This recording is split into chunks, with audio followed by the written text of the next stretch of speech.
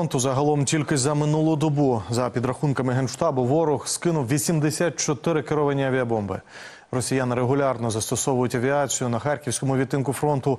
Більше про оперативну ситуацію там розпитаємо Юрія Федоренка, командира батальйону ударних безпілотних авіаційних комплексів Ахілес 92-ї окремої штурмової бригади імені кошового отамана Івана Сірка. Пане Юрію, я вас вітаю в нашому ефірі. Слава Україні! Героям слава, пане Юрію, розкажіть, будь ласка, яка оперативна ситуація на вашій ділянці фронту? Можна охарактеризувати як високоінтенсивне, тобто так чи інакше, не дивлячись на те, що противник несе об'єктивно більш ніж суттєві втрати на полі бою в техніці, в живій силі, знаходить резерви для того, щоб поповнити і тримати постійно високоінтенсивний рівень. Тобто ударно-штурмові дії від противника відбуваються щоденно.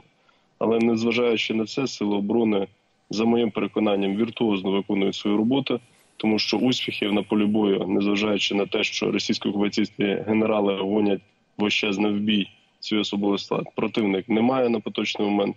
І також сили оборони за останній період провели ряд операцій, які дозволили вибити противника з певної кількості позицій, зараз надійно їх отримувати. Тому так чи інакше можна сказати, що ситуація близька до стабілізації. Але коли ми кажемо близька до стабілізації, це мається на увазі, що сили оборони воюють в повний зріст для того, щоб можна було так сказати.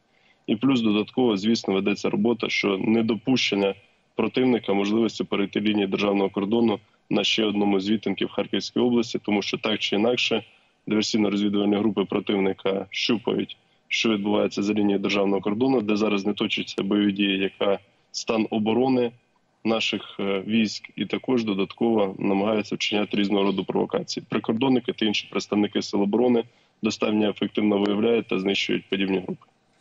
За даними генштабу, ворог стягує додаткові сили під Вовчанські липці. Що ви зараз спостерігаєте, і яка мета цього маневру ворога?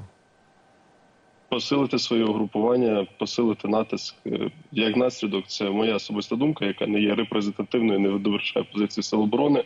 Але противнику потрібен вовчанець для чого? Для того, щоб сформувати плацдарм і подальшого просування в тил нашому угрупуванню, яке тримає Куп'янськ. Для чого потрібен Липецька громада противнику? Чому важливо максимально підійти до адміністративних меж міста Харкова?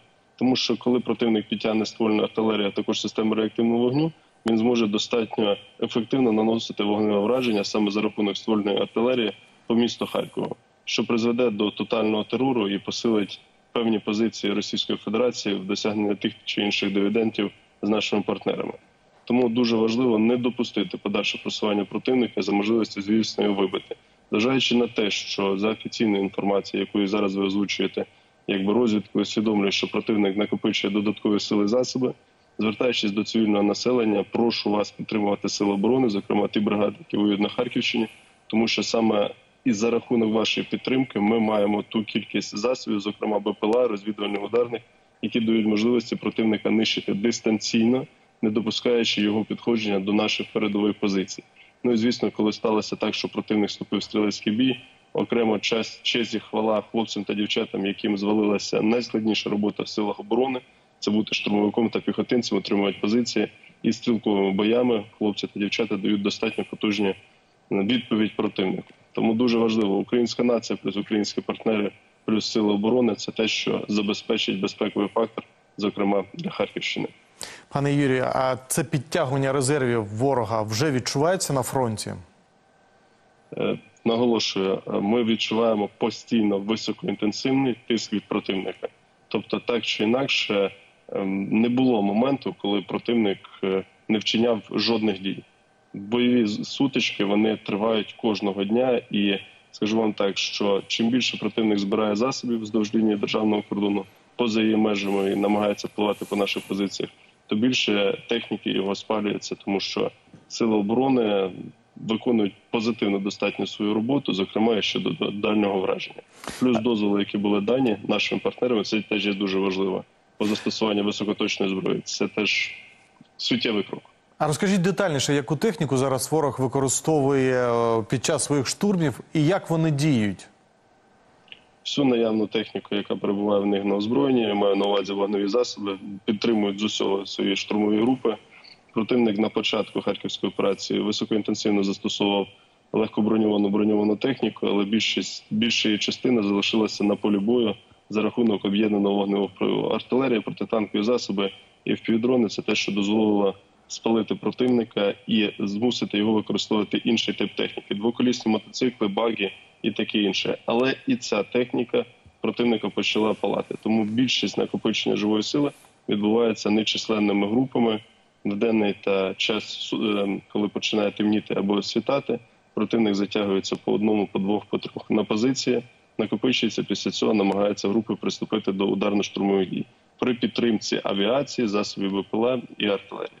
Але так чи інакше, противник виявляється за моїм переконанням своєчасно і своєчасно по ньому наноситься вогневе ураження. Пане Юрію, не можу вас не спитати, адже на напрямку Липці Глибоке екіпажу батальйону ударних дронів Ахілес вдалося вперше пошкодити російську самохідну артилерійську установку 2С-43 Мальва. Це таке сучасне озброєння, аналог французького Цезаря та української Богдана, яке може вести вогонь на відстані до 25 кілометрів. Розкажіть, будь ласка, детальніше, як вдалося вашим бійцям обчислити її та чим знищити? Що негативно, ми маємо констатувати, що військово-промисловий комплекс Російської Федерації так чи інакше працює на повну потужність, е, ремонтуючи техніку, модернізуючи, випускаючи нові зразки озброєння.